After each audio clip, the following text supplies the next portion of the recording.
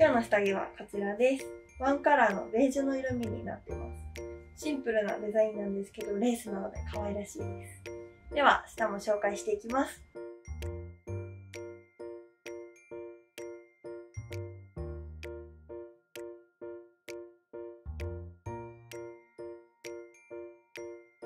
下はこんな感じです。下もね、ソーレースなので、このね、透け感がセクシーなデザインになってます。では、制服に着替えていきたいと思います。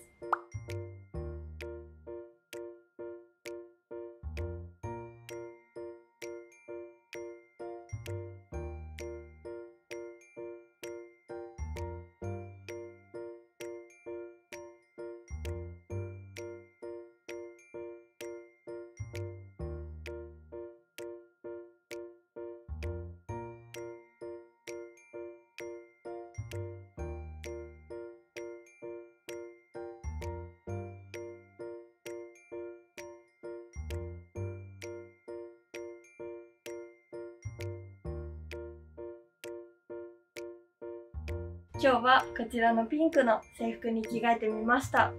この動画が良かったら高評価とチャンネル登録お願いします。Twitter などの SNS もやっているので、よかったら見てみてください。